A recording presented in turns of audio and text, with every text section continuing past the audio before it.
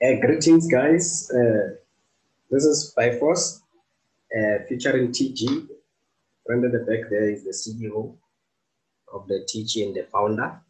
So we'll be doing the structure of a business a little bit.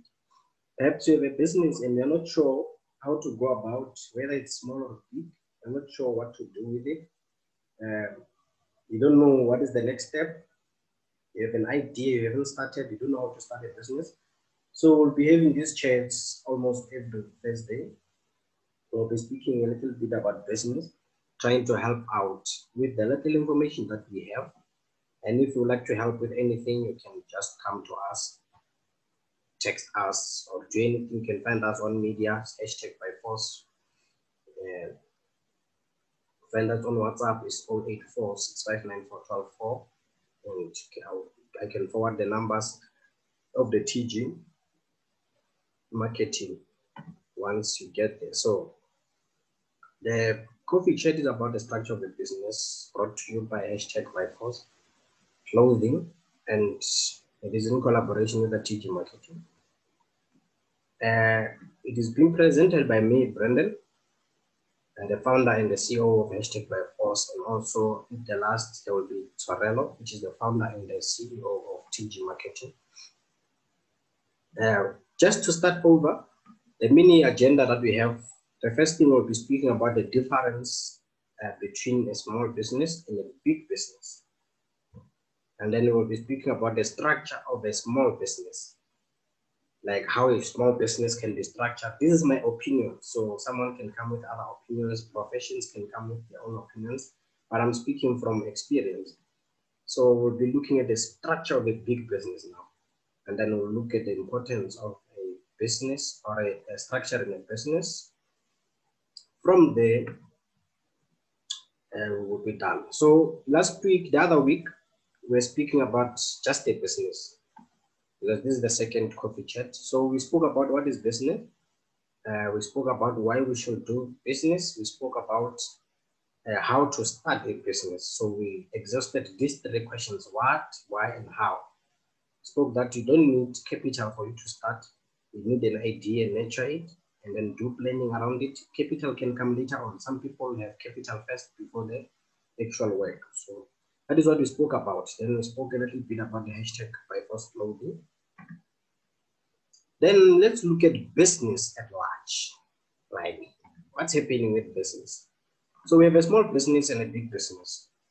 That's business at large. Um, with a small business, you notice it by the fact that it cannot continue operating in the absence of the owner. So if the owner is not there, let's say it's a quarter shop, it's a quarter business. When the owner is not there, the business can no longer function anymore.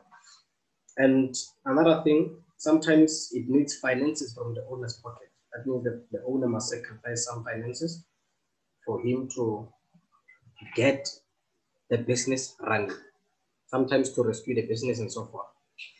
And then the big business, you notice it by the fact that it can function fully at the absence of the owner. If there's no manager at the workplace, doesn't mean the workplace will not function.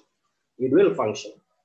And another thing about the big business is that it really needs finances from the owner's pocket. Sometimes it does, but it is rare because sometimes you'll get sponsors and so forth. With a small business, it's not easy to get a sponsor because you need to register. Registration takes time and money. You see, you see that.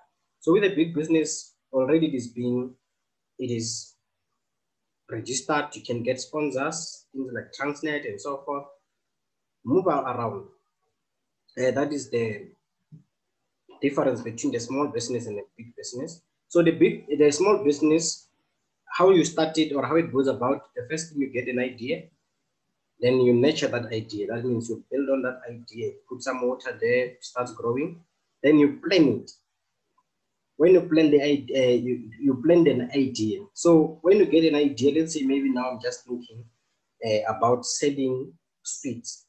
So uh, as I think about selling sweets, I have to nurture it in me so that I, love, I love it, so that the business grows in me first the love for it grows and I love it more, then I plan it. I plan, when I'm planning is where involve the marketing and advertisement and checking the ge geographical areas and so forth. You see that?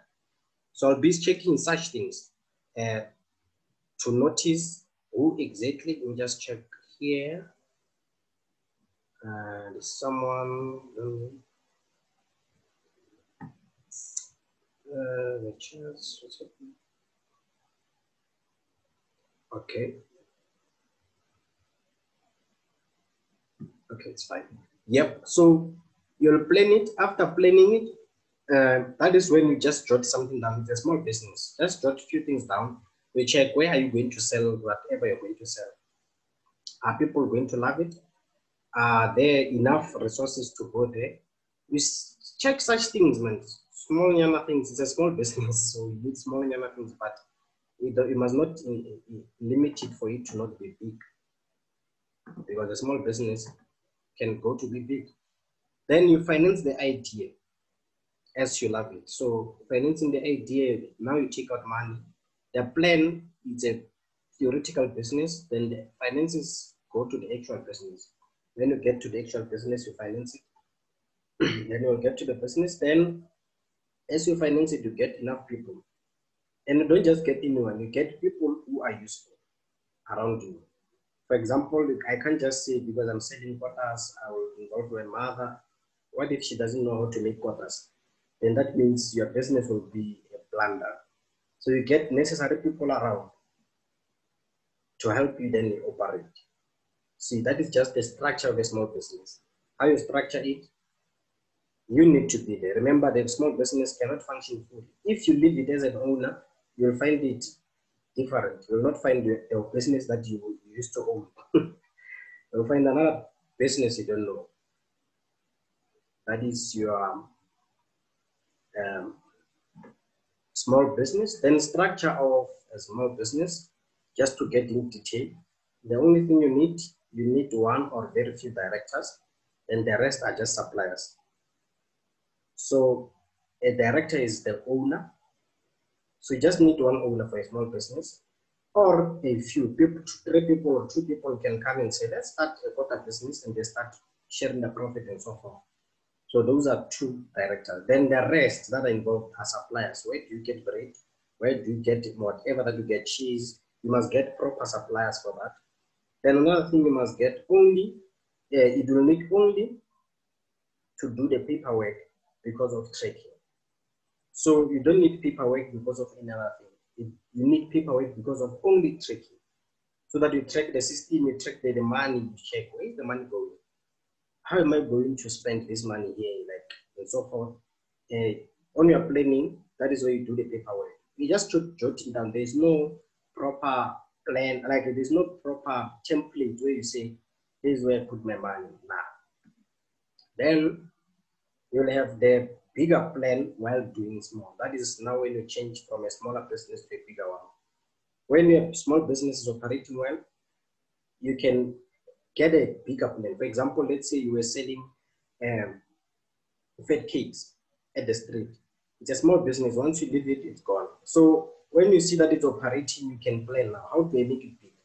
You can try to get a place where you can be the manufacturer of those cakes, become a baker. Then where you will have other, you will see the structure of a big business where you no longer need one director or a few directors, but you are the owner, you have um, the manager of the branches and so forth. That is the structure of a small business. Hope you get it. So the structure of a big business, the first thing we check with the chief executive officer.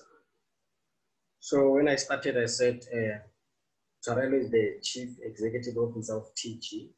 So a chief executive officer, in my simple terms, it's someone who overlooks all executives. So if there's anyone that is involved in your business, the chief executive officer is the one that overlooks them. He makes sure that everything runs properly for everything. Let's say uh, hashtag by force has about seven branches. As the CEO, I'm the one who's overseeing all the branches. Then each branch has its own manager. So the manager oversees the branch. That's the role of the chief executive officer, the CEO. Then we have the manager, which is the one that leads a branch. Then from a manager, you have the chair. Man, they're not in order. I'm just showing you few things that a big company needs. So it needs also a chairman, You might have chief executive officer, manager, and the other COOs and so forth, and not have the chairman, or you can have the chairman. So the chairman, mostly I, I regard them as the dictator. They're the ones who call the shots. So when the chairman says this is how the business will start running, that's how we do it. If the chairman or the if the chairman of maybe Spar in the whole and now says no, we will start selling milk at 15 rand, all Spars they have to comply to that through the help of the managers because each and every Spar has its own manager. Then you have the directors. So the directors are all the involved stakeholders in the boardroom. They're the ones who take the decisions, they vote for decisions. With if you have 15 uh, directors, there's no decision that can be made by only three of them. So you'll need more than three for you to be able to uh, participate properly. So looking at the directors, also we are checking the people who is the people who make sure that the business, they, they overlook the future business, like how the future of whatever business that you have will be. Uh, if it's a business of selling shoes, the directors will sit down and start checking what exactly is happening in the future for this uh. So once they notice that, they see, okay, this is what is going to happen, then they come back, make decisions. So directors are just involved in the, they make sure that the business doesn't fall, so that even if the CEO is also part of the directors in the big board of the big business. So that is how it is. And then let's check. Uh, there are many other structures or uh, elements involved in the structuring of a big business. But one of them, which is very important, is the employees. So you have to get the employees as a big business. Remember, having a small business, you don't need employees. If you're selling quotas, you can operate on your own. Operate. There's a business that you know in Kasi, which is just operating. Uh, there's only the owner, or there's a supermarket which you saw when, when we were growing up. Even now, it's still there. It's only the owner who's operating there. That's a small business because once the owner leaves, the business falls. So now, because uh, if you check with the big business, it will have employees. So if the CEO is not in the Tembisa branch or in the Johannesburg branch or in the Limpopo branch, it doesn't mean that the branch will not function. It will function well. Why? Because there are employees which, which are making sure that the hard labor is happening and there's a manager who is making sure that the business is directed properly. Uh, so the employees are the personnel who are employed to run the mission of the business. They are hard to labor. Then you have the external stakeholders. That is involving people like cleaners, security, and transportation. And transportation. A small business, you don't need a cleaner unless it is trying to grow to be a, a, a big business. Most of them don't need security. You just put your container there, you're done. But with a big business, Nike needs uh, security. Adidas needs security. They need cleaners. They need transportation. So either they will, trans uh, they will transport on their own or they will call external transportation. Then a big business involves policies, constitution, regulations, other parameters, uh, laws, rules, obligations, and all. Uh, with the manager, before they take the job, they will make an oath. They will say, I prepare to make sure that the mission of this company goes forward. So that is what the structure of a big business. If you check all these things, a small business doesn't have all of them. It has actually less because it has only directors which can be one or a few. The chief executive officer is not there, or unless the director calls himself the chief executive officer, then you, uh, it doesn't have policies, it doesn't have constitution. If you go to someone who sell, who is sewing shoes on the street and say, show me your constitution, you'll be them. Why they're a small business. So from my own, I'm finishing up with this slide here. So we are discussing a little bit of a big business. When you start it, you get an idea, you plan the idea, then you register the business. A small business, you don't need to register. A big one, you register. When you register, you need constitution, you need policies which will regulate the big business on how it will function. And then you get sponsors. Let's say you want to build a mall. That's a big business. It's a big, big business. If you want to build a mall, you must get sponsors. Unless if you have your own sponsors, and sponsorship is fine. You have directors and employees. And then there you operate. Because you can't just operate. If you don't have money, you can't operate without sponsors. You can't operate without directors. You can't operate without employees. You can't operate without rules and regulations. When employees come, they sign a contract. They say we, are, we will be working from this day to that day. Those are contracts which can fall under policies and also the constitution. So I can say that is all from me. So think of it as an essay without a mind map. That it is without direction again. So you'll have to start from the ground up and structuring your business, you'll have to structure it in such a way that at that moment, so you have to structure it considering the future and also the moment. It, needs to fit the current and also the future. Né? So think of it that way. So let's go to the second point. So also you think as it as, as structuring a business as a, a, car without a steering wheel, which is we cannot easily control it because you think the people you're going to get on the team are people that you mostly do not know, which you must not do because you whoever you get on the team, you must make sure you clearly know them and you clearly know their goals and you clearly share the mission and the values of the of your company, right? So that's what is needed. Going to the third uh, point. So think of everyone uh, was a president. Ne? There's no order. So let's say you put someone as the uh, chief of uh, finances, like a CFO, chief of finance. So when you put that someone, they think that at that position, they are the president there. So it is not easy to tell them that you need to adjust uh, your budget, you need to adjust that and that, and reallocate the budget from uh, that stream to that stream and think of other ways. So they think that they are the king in that uh, area. So that, that is why it is difficult. But as a manager or as a CEO, because the CEO is basically a manager but overseeing the whole thing, uh, so you need to have the tactics, which uh, I believe we have discussed last week with Mr. Brendon. Uh, you need to, to, to know now which style to approach someone with when you are uh, managing them. Yeah.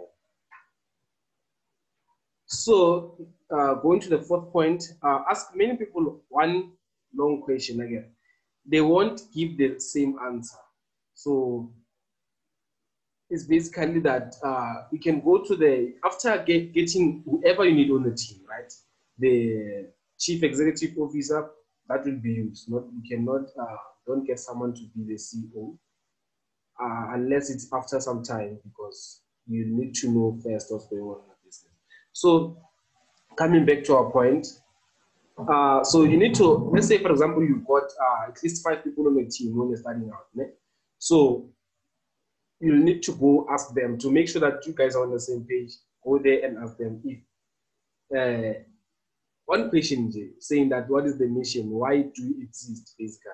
So there you have uh, more than 50% chances to get different answers because uh, everyone has, has their own mission. When they enter a business, let's say, for example, it's a it's, it's a clothing brand. Let's say Mr. Brendon recruits me and say, ah, man, I want you to come to my biz, to my company, Hashtag by Force, to be uh, head of digital, something, something like that.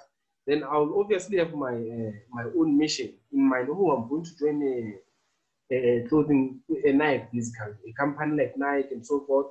Oh, which means, oh, now I start imagining, uh, laying out the ideas that I'm going to execute but these are not the same ideas that the CEO or because the CEO is basically the business or whatever they put down on the paper is not the exactly same thing that they hold. So that's where the conflict is gonna come. So whenever getting people on a team, make sure that you make that clear that if it's a clothing brand, make sure if you want to your clothing brand to to be uh, known by to be respected in whatever manner like to, to when people think of a brand to think of formal or anything, make sure you clearly communicate that, that to your uh, uh, uh, people while structuring your business.